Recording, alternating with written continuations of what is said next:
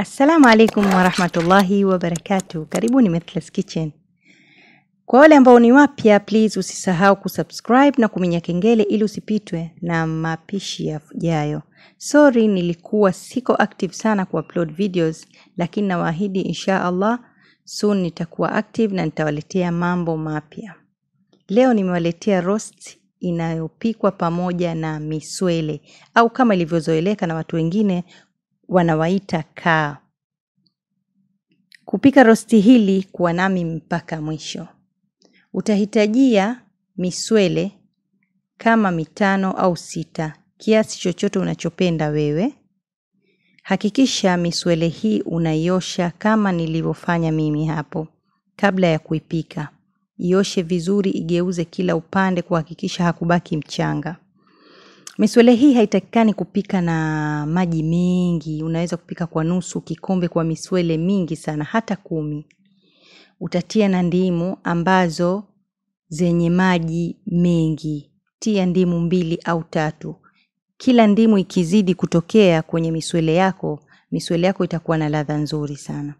Chumvi utakisia, kuna wanaopenda chumvi itokee sana, kuna wanaopenda chumvi kiasi, utakisia wewe katika mapishi yako. Tia chumvi na kisha utapika kwa muda wa dakika kama tisa. Itategemea na nguvu ya jiko lako pia. Hakikisha unapika mpaka maji yanabakia kidogo sana na kuna wengine wanaoacha maji mpaka yakauke.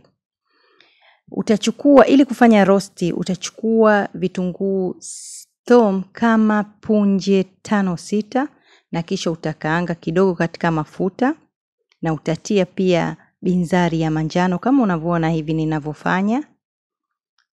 Kisha utatia tomato ya packet na utatia chumvi kiasi kwa ajili mwanzo wale miswele wako tayari uliwapika na chumvi ya kutosha.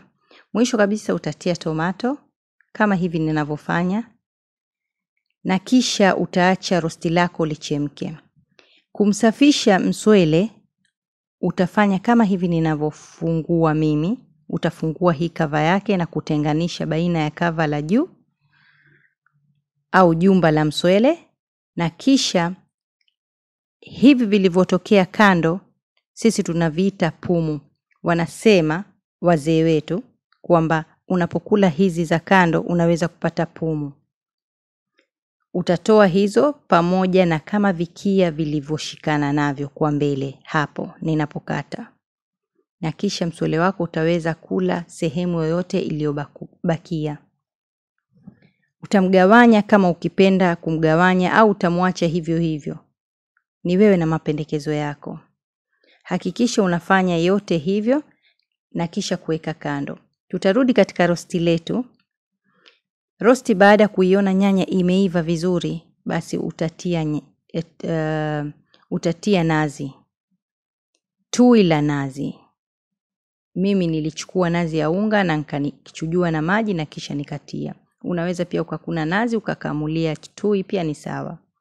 Likishaiva rosti langu, kando kama unavyoona nimesonga ugali na kisha lile rosti ninalimwagia juu ya wale miswele. Mpaka hapo ushaona vipi nimepika rosti la miswele. Asante.